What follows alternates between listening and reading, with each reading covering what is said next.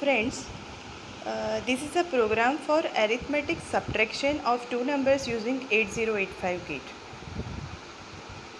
Now, અહીંયા જે programme આપણે સમજવા જઈ રહ્યા છે એકદમ સિમ્પલ પ્રોગ્રામ છે જે એસેમ્બલી લેંગ્વેજમાં લખેલો છે અને એ એકદમ શોર્ટ પ્રોગ્રામ છે જેનામાં માત્ર ને માત્ર ચાર ઇન્સ્ટ્રક્શન્સ છે રાઈટ સો તમે જોશો તો આ એસેમ્બલી લેંગ્વેજનો પ્રોગ્રામ્સ છે, આ ઇન્સ્ટ્રક્શન્સ છે આ પ્રોગ્રામની.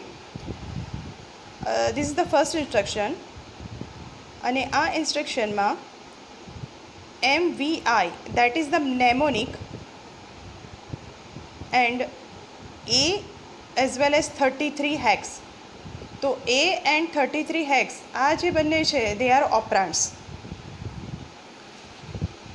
similarly if you see SUB means sub B તો આ જે એસયુબી છે, એ નેમોનિક છે અને એમાં ઓપરાન્ડ કયો છે, તો આ બી આ રજિસ્ટર બીને ઇન્ડિકેટ કરે છે.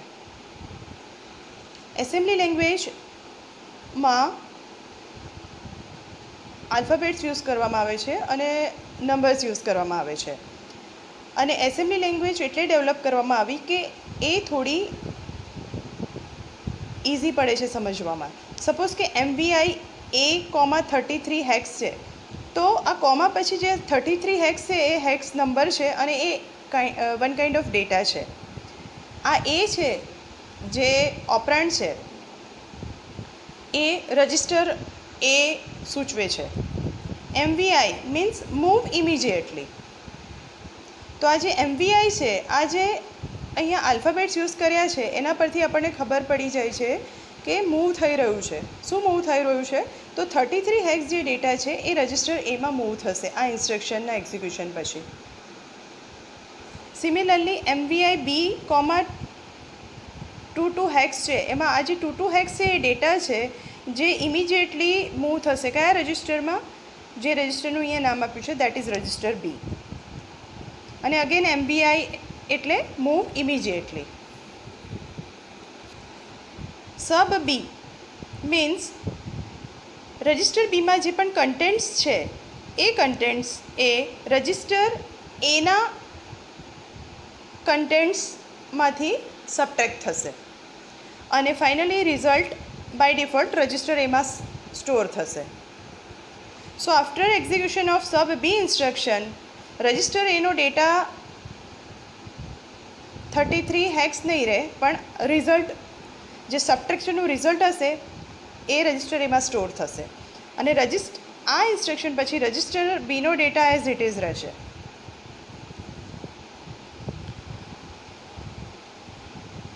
ફાઇનલ ઇન્સ્ટ્રક્શન છે HLT and this is the one kind of interrupt અને એન્ડ ઓફ પ્રોગ્રામ માટે યુઝ કરીએ છીએ.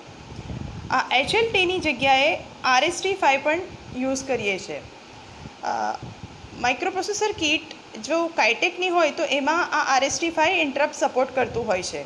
તો કાઇટેકની કીટ માટે આપણે આરએસટી ફાઇવ યુઝ કરીશું અને બાકી દરેકે દરેક સિમ્યુલેટર્સ માટે અને અન્ય ટાઈપની કીટ માટે આપણે એચએલટી ઇન્સ્ટ્રક્શન યુઝ કરીશું for ending of program so આ ઇન્સ્ટ્રક્શન એસેમ્બલી લેંગ્વેજની ઇન્સ્ટ્રક્શન્સ છે અને એ ઇઝીલી અન્ડરસ્ટેન્ડેબલ છે. બટ માઇક્રોપ્રોસેસરને તો બાઇનરી લેંગ્વેજ જ ખબર પડે છે. સો, આ જે જેટલી પણ ઇન્સ્ટ્રક્શન્સ છે, એના ઇક્વિવેલન્ટ ઓપરેશન કોડ હોય છે, એટ ઝીરો એટ ફાઇવ માઇક્રોપ્રોસેસરમાં. સપોઝ કે આ એમવીઆઈ એ છે, તો એનો ઇક્વિવેલન્ટ કોડ છે ઓપરેશન કોડ છે, અથવા તો ઓપ કોડ છે, three E. So instead of MVI A, અહીંયા થ્રી ઈ આવશે. થ્રી થ્રી છે. તો એ અહીંયા સેમ જ આવી જશે. Data remains as it is again MVI B છે, એનો ઇક્વિવેલન્ટ ઓપરેશનલ કોડ છે ઝીરો સિક્સ સો એ અહીંયા આવ્યો. Again data two two sub B એનો ઓપરેશનલ કોડ છે નાઇન ઝીરો સિમિલરલી એચએલટી જ્યારે યુઝ કરીશું તો એનો અપકોડ લઈશું સેવન સિક્સ અને જ્યારે કાઇટેક માટેની કિટ માટે આરએસટી ફાઇવ એચએલટીની જગ્યાએ યુઝ કરીશું, તો આરએસટી ફાઇવનો ઓપકોડ થશે ઈ એફ.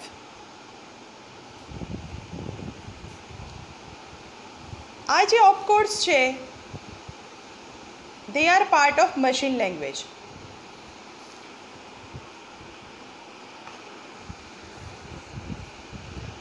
microprocessor કિટમાં જ્યારે પણ પ્રોગ્રામ એન્ટર કરવાનો હોય છે, અથવા તો માઇક્રોપ્રોસેસરના સિમ્યુલેટરમાં કોઈ પ્રોગ્રામ એન્ટર કરીશું આપણે, તો આપણને એની માટે મેમરીની જરૂર પડશે. તો microprocessor eight zero eight five છે, એની સાથે એક્સટર્નલ મેમરી કનેક્ટ કરેલી હોય છે. આ એક્સટર્નલ મેમરીના લોકેશન્સ હશે, જેનું એડ્રેસ હશે. મેમરી લોકેશનનું એડ્રેસ હશે, જે સિક્સટીન બીટનું હશે. તો જ્યારે પણ પ્રોગ્રામ એન્ટર કરવો હોય, તો આપણે આ સિક્સટીન બીટનું એડ્રેસ મેન્શન કરવું પડે છે.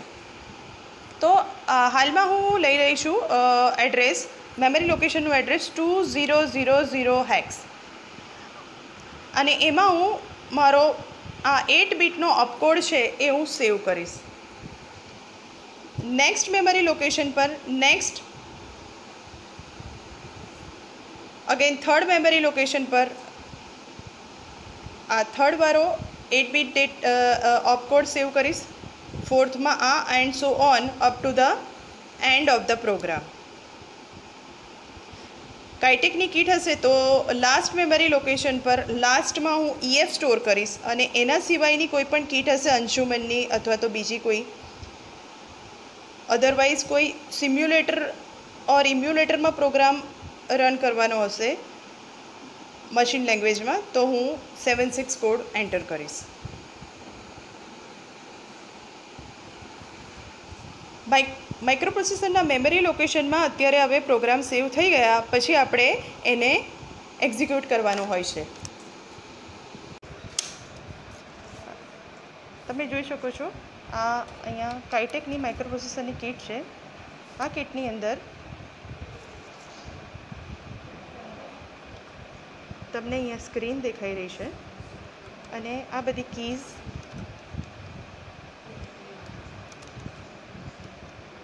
પ્રોગ્રામ એન્ટર કરવા માટે છે.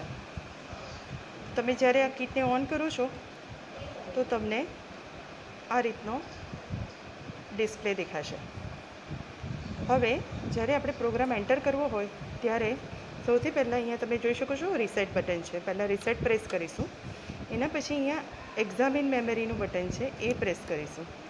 તો સ્ક્રીન આ રીતે દેખાશે. આ સ્ક્રીનમાં જે લેફ્ટ હેન્ડ સાઈડ છે, એ ચાર ડિજિટની ડિસ્પ્લે છે અને રાઇટ હેન્ડ સાઈડ બે ડિજિટવાળી ડિસ્પ્લે છે.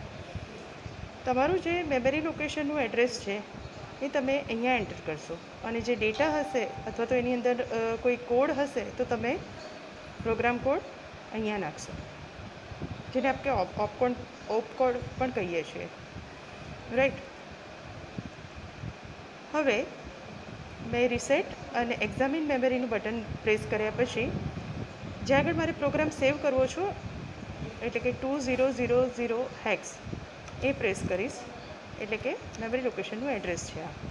એના ઉપર મારો જે ઓપકોડ છે two zero zero zero hex ઉપર મારો ઓપકોડ થ્રી ઈ છે. એ થ્રી હું એન્ટર કરીશ. તો તમે અહીંયા જે બ્લેક કીસ છે